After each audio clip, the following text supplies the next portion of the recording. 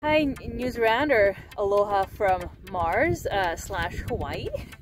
I'm actually on the volcano Mauna Loa on the big island of Hawaii. I do work and research like an astronaut, but here on Earth to help prepare humans to be able to live on the moon and Mars one day.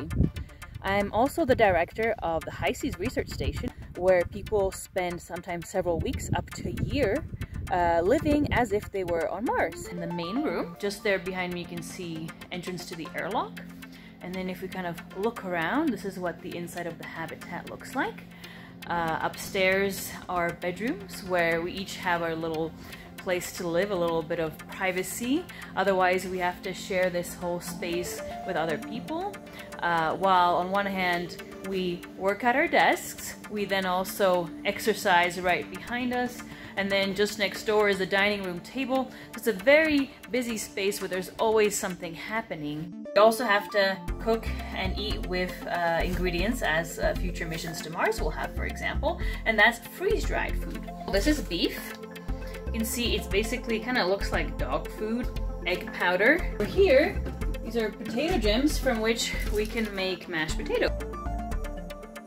Here you can see our toilets. It's not, it kind of looks like a typical toilet, but it's actually not. You can see it's pretty tall compared to me because it's a compost toilet.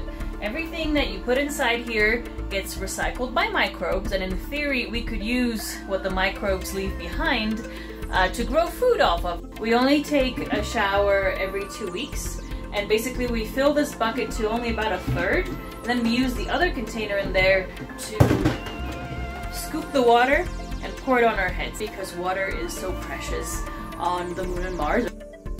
Here I am in our science laboratory. It's also the only other room that has a window.